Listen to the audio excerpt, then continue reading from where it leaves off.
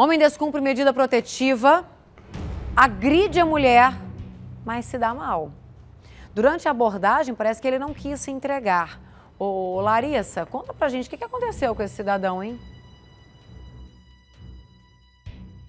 Ela, esse autor né, de ameaças e outros crimes contra a ex-companheira já estava preso há 27 dias, porque ele já tinha aprontado, entrado na casa dessa ex-companheira, ameaçado com faca, ameaçado as filhas dela também e causado todo um transtorno, inclusive até mesmo perdeu um dos dedos ali porque ele né, estava oferecendo ameaça, a polícia teve que reagir para poder conter esse suspeito e aí ele foi preso, só que ele saiu com tornozeleira e foi atrás da ex-companheira.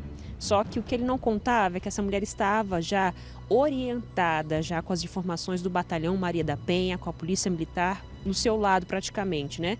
E por isso ele a polícia chegou muito rápido e conseguiu evitar o pior que o pior acontecesse. A gente vai conversar ao vivo com a comandante do batalhão Maria da Penha, a Major Dirlene Seixas, que vai trazer maiores detalhes a respeito dessa ocorrência, porque é até complicado da gente explicar tudo de uma vez, né? Bom dia para a senhora, comandante. Obrigado por atender a nossa equipe mais uma vez. Primeiro, vamos falar, ele saiu depois de 27 dias da cadeia porque ele tinha aprontado né, invadiu a casa dessa mulher. Como é que foi essa primeira parte dessa ocorrência? Essa primeira ocorrência, bom dia, né? Bom dia a todos, bom dia Larissa. Essa primeira ocorrência, esse indivíduo foi até a casa dessa ex-companheira dele, ameaçou ela com uma faca, ela ligou no 190 e a polícia militar foi até lá, as equipes do 7 Batalhão.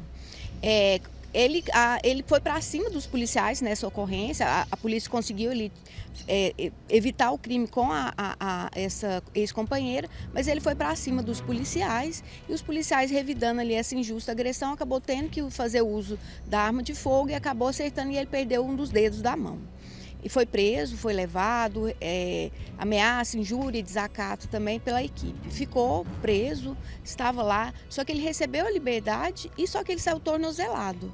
É, dessa primeira ocorrência, essa vítima, ela solicitou a medida protetiva. O batalhão já vinha fazendo o acompanhamento dessa mulher. Então, ontem, quando ele foi lá na casa dela novamente, ela acionou diretamente o batalhão Maria da Penha, que de pronto já fomos lá e realizamos a prisão desse agressor. E lá no, no, serviço dessa vítima, ele chegou a entrar e fazer novas ameaças? O que, que ele, ele queria ali de respaldo com ela? Ele chegou sim a ameaçar ela novamente, falou que iria matá-la, iria matar as filhas dela, é, porque ele estava chateado da outra ocorrência, que ela não precisava ter denunciado ele, enfim. Então ele fez ali todas essas ameaças para vítimas. E aí o importante disso tudo é que a vítima estava realmente orientada pelo Batalhão Maria da Penha, que aquilo ali era um descumprimento de medida protetiva, que a vida dela ali estava em risco e ela acionou rapidamente o batalhão.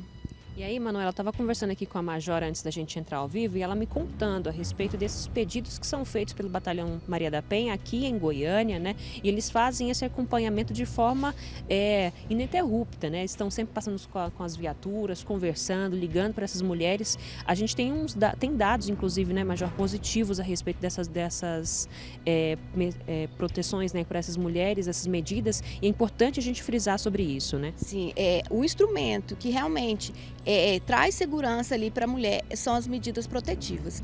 A mulher que tem medida protetiva, ela vai ser acompanhada pela Polícia Militar e a Polícia Militar está preparada para esse acompanhamento. A gente leva acolhimento para essa mulher que já está ali fragilizada, porque já foi vítima de violência, e a gente leva segurança. Informa para essa mulher sobre o batalhão, sobre as patrulhas, informa sobre o aplicativo Mulher Segura, para que ela saiba acionar ali naquele momento.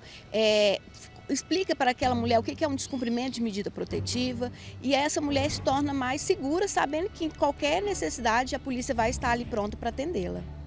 No início do ano teve pontos positivos, quantas medidas foram ali é, expedidas e o pessoal e o Batalhão Maria da Penha tem acompanhado? É, no primeiro trimestre né, de 2024, a Polícia Militar tinha realizado já quase 50 mil acompanhamentos de medidas protetivas, que é esse trabalho que a viatura vai à porta da casa da mulher, a policial vai conversar, vai lhe passar todas as orientações, ter aquele contato realmente, mostrar para aquele perímetro ali e principalmente para o que a polícia militar está ao lado dessa mulher. E a gente fechou abril com quase 67 mil acompanhamentos. Então isso demonstra que a polícia militar está realmente preparada e está focada nesse atendimento. E mais um dado importante que hoje não precisa demorar né, mais de 24 horas, 48 horas para essa vítima ter acesso a essa medida também, né, Major? Não. Hoje aqui no estado de Goiás, nosso Poder Judiciário tem atuado também de forma bem rápida. A mulher fez a solicitação é, em torno de 10, 12, a gente já teve medida protetiva sendo expedida com 8 horas após a solicitação. Então o máximo ali que a gente está trabalhando é com 24 horas e tem sido é, acatado pelo juiz, a mulher tem levado essas denúncias, seja violência física, mas também moral, psicológica. O judiciário tem acatado essa solicitação da mulher e expedido as medidas protetivas. Obrigada, então, Major Dilene Seixas, comandante do Batalhão Maria da Penha aqui em Goiânia. A gente traz esses bons resultados, a proteção a essas mulheres e esse caso, né, Manuela, que, ou seja, o agressor achou que ficaria livre, ficaria impune e até mesmo assim é de duvidar da inteligência dele, né, porque ele já saiu tornozelado da, da cadeia e foi atrás da vítima, mesmo tanto tornozelado, monitorado e ela tendo a medida protetiva, né, ele queria o quê? Nem para cadeia de novo, né? Ele achou que a gente tem uma polícia incompetente, ele achou que a gente tem uma polícia despreparada, mas ele teve a prova de que não, que graças a Deus nós temos o contrário, uma polícia muito bem preparada, atuante aqui no estado, e aí esse homem acabou estando mal. Obrigada, viu? Obrigada pela a Major também pelos esclarecimentos aqui pra gente.